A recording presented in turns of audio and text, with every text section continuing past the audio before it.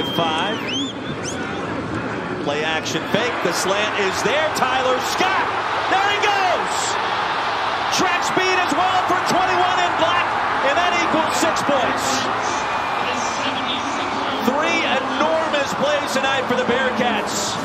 I just want to see the foot race between Tre Tucker. By the way, a double overtime winner over Wake this afternoon. Deep ball, wide open, and hitting Tyler Scott in stride for the touchdown. 75 yards for the score.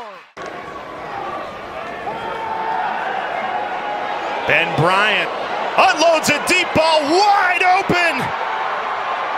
Tyler Scott, touchdown Cincinnati. Time Taylor making the catch. Bryant looking left the whole way. Too much room for Scott. Makes a man miss the cutback at the 10-5. Touchdown Bearcats. Both tight ends to the right side. Bryant throwing deep downfield, looking for the end zone. And it is caught for a touchdown. Tyler Scott, 34 yards. Bryant, empty backfield, throwing deep over the middle. Got him! Touchdown, Tyler Scott. A 41 yard touchdown connection from Bryant to Scott.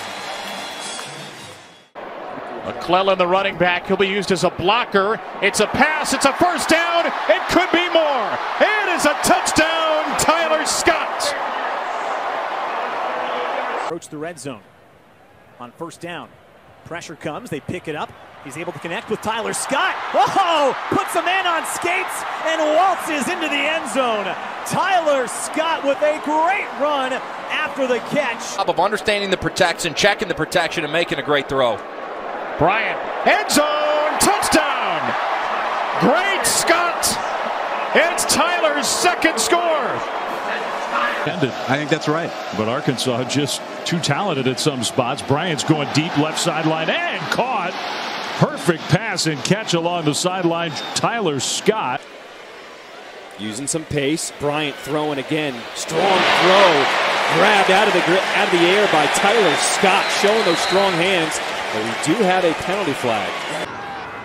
Montgomery, the running back. Bryant with time. Scott has it, and that's enough for a first down. That's a heck of a catch. Blitzing team.